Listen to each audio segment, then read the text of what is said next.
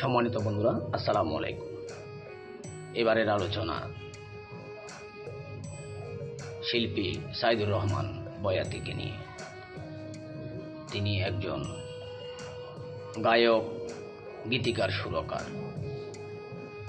সাইদুর রহমান বয়াতি বাংলাদেশি একজন গায়ক। তিনি বাউল রীতির লোকসঙ্গীত গেয়ে থাকেন। দু হাজার তেরো সালে শিল্পকলা পদকে ভূষিত হন।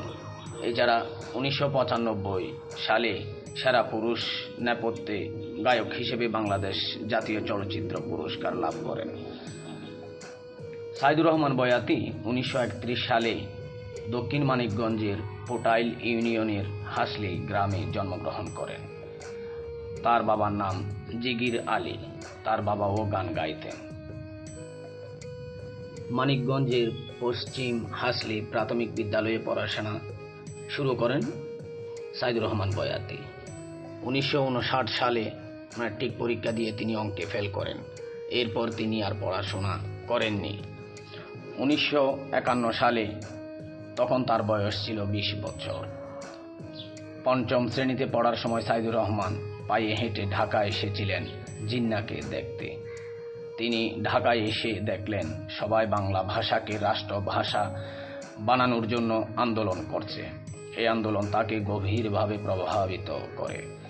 তাদের আন্দোলন দেখে তিনি একটি কবিতা লিখলেন, আমার ভাষায় বলব কথা, তোদের কেন মাথা ব্যথা? এই ভাষাতে জোড়ায় প্রাণ, তোদের কি তাতে যায় রে মান? এই কবিতায় সুর দিয়ে গান হিসেবে গেয়ে বেড়াতেন তিনি। উনিশশো একাত্তর সালে স্বাধীনতার জন্য মুক্তিযুদ্ধ শুরু হয়। সাইদুর রহমান মুক্তিযুদ্ধে যোগদান করেন। সহযোদ্ধাদের সাহস দেওয়ার জন্য তিনি বিভিন্ন গান ও কবিতা লিখতেন। পারিবারিকভাবে সাইদুর রহমান সাংস্কৃতিক পরিবেশে বেড়ে উঠেছেন। তিনি অভিনয়, গান লেখা, সুর দেওয়া, গাওয়া ইত্যাদিতে ছিলেন সিদ্ধহস্ত।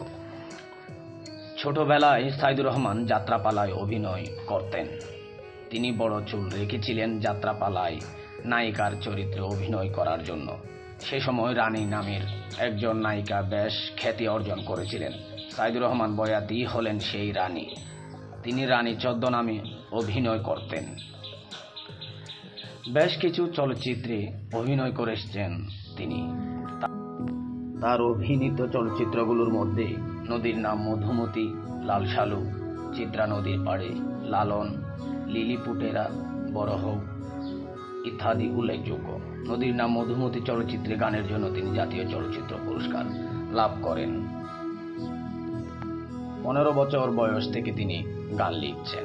এ পর্যন্ত আধ্যাত্মিক গানের ধারায় জারি সারি, ভাটিয়ালি, বাউল, মারফতি, নবীতত্ত্ব, কবি গান, মুর্শিদি, গাজীর গান, মালসি, সখী সম্পাদ দমতত্ত্ব সৃষ্টিতত্ত্ব, জীবতত্ত্ব পরম তত্ত্ব এমন প্রায় পঞ্চাশ শাখায় প্রায় তিন হাজার গান লিখেছেন সাইদুর রহমান বয়াতি সাহেব। উনিশশো আটাত্তর সালে তার প্রথম গানের ক্যাসেট বের হয়। সাইদুর রহমান বয়াতি নৌবাহিনীতে চাকরি করতেন। এই চাকরি ছেড়ে দিয়ে তিনি মানিকগঞ্জে কোঅপারেটিভ ব্যাংকে কাজ নেন। কিন্তু ব্যাংকের হিসাবের খাতায় গান লেখা সহ বিভিন্ন কারণে তার চাকরি চলে যায়। এরপর গান গেয়েও ও মুদি দোকান দিয়ে জীবিকা নির্বাহ করতেন তিনি। রেডিও, টেলিভিশন ও বিভিন্ন অনুষ্ঠানে গান গেয়ে অভিনয় করে অর্থ উপার্জন করেন তিনি। উনিশশো বাহাত্তর সালে বঙ্গবন্ধু শেখ মুজিবুর রহমানকে দেওয়া এক সংবর্ধনায় সাইদুর রহমান বয়াতি শেখ মুজিবুর রহমানকে নিয়ে নিজের লিখা একটি গান গেয়ে শোনান। এতে শেখ মুজিবুর রহমান অত্যন্ত খুশি হয়ে তাকে একটি ঘড়ি উপহার দেন। উনিশশো সাতষট্টি সালে সাইদুর রহমান সালেহা বেগমকে বিয়ে করেন। এই দম্পতি তিন ছেলে ও এক মেয়ে জন্ম দিয়েছে। তাদের বড় ছেলে আবুল বাসার আব্বাসীও একজন সংগীত শিল্পী। তিনি রেডিও, টেলিভিশনে গান গেয়ে থাকেন। একজন অত্যন্ত গুণী মানুষ, সাইদুর রহমান বয়াতি সাহেব। তিনি এখনও আমাদের মাঝে বেঁচে আছেন। আমি তার দীর্ঘ হায়াত কামনা করছি। ভালো থাকবেন বন্ধুরা। আসসালামু আলাইকুম।